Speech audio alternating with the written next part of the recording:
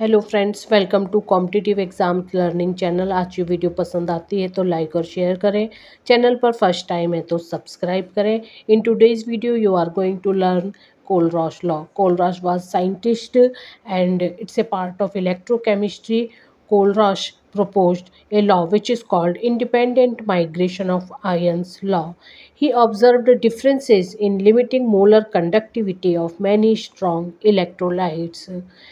On this basis, he said differences of limiting molar conductivity of electrolytes that have one common ion is approximately same. For example, see here as limiting molar conductivity of KCl and NaCl. So what is the difference between them? It's 23.4 Siemens per Siemens square centimeter per mole.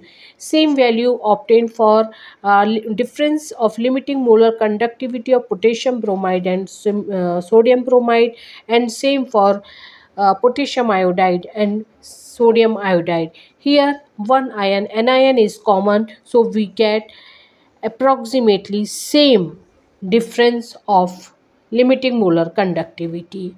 And uh, one more thing that he said Limiting molar conductivity of an electrolyte is sum of limiting molar conductivity of cation and anion of electrolyte.